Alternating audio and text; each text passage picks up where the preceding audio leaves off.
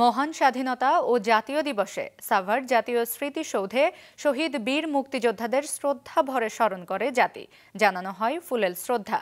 মুক্তিযুদ্ধের চেতনায় বাংলাদেশ যেন তার মর্যাদা নিয়ে সমুন্নত থাকে সেই প্রত্যাশা করেছেন সবাই। আরও জানাচ্ছেন নিয়াজ মোর্শেদ। তখন ভোর পাঁচটা চল্লিশ।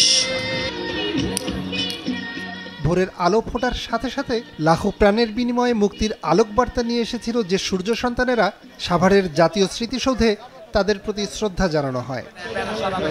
রাষ্ট্রীয় আনুষ্ঠানিকতার পর রাজনৈতিক সংগঠন, শিক্ষা প্রতিষ্ঠান, সামাজিক, সাংস্কৃতিক সংগঠন সহ সর্বসাধারণ শ্রদ্ধা জানান।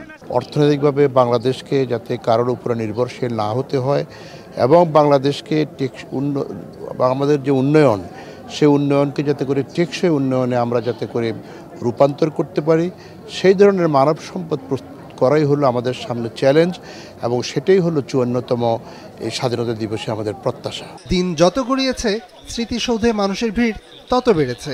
স্বাধীনতার এই দিনে জানিয়েছেন রাষ্ট্রের কাছে তাদের প্রত্যাশার কথা। সাধারণ শ্রমজীবী মানুষ যে উন্নয়নের গীতি রচনা করেছে, সেটা লুটপাট করে খাচ্ছে, মুষ্টিময় একটু গোষ্ঠী। সুতরাং তাদের হাত থেকেই দুর্বৃত্তায়ীদের হাত থেকে, লুটেরাদের হাত থেকেই দেশকে মুক্ত করার সংগ্রামই এখনকার প্রধান সংগ্রাম। পরস্পর প্রতি মায়া, মমতা, আন্তরিকতা এই জিনিসটা থাকে উভয় উভয় পক্ষের মিল থাকে।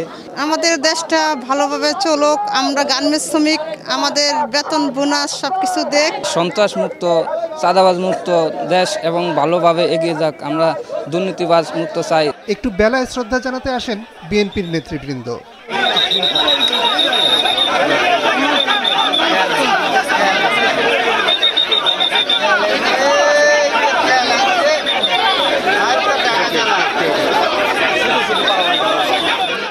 ফুলেল শ্রদ্ধা জানিয়ে দলটির নেতৃবৃন্দ জানান, স্বাধীনতার প্রকৃত ইতিহাস চেপে রাখা যাবে না।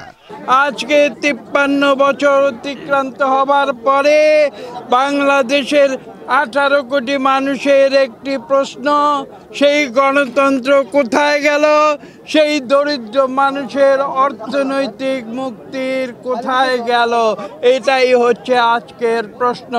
এক সাগর রক্তের বিনিময়ে অর্জিত বাংলাদেশের মহান স্বাধীনতা ও জাতীয় দিবস পালন হয় যথাযোগ্য মর্যাদায়। স্বাধীনতার পাঁচ দশক পেরিয়ে উন্নয়নের মহাসড়ক ধরে এগিয়ে চলছে বাংলাদেশ।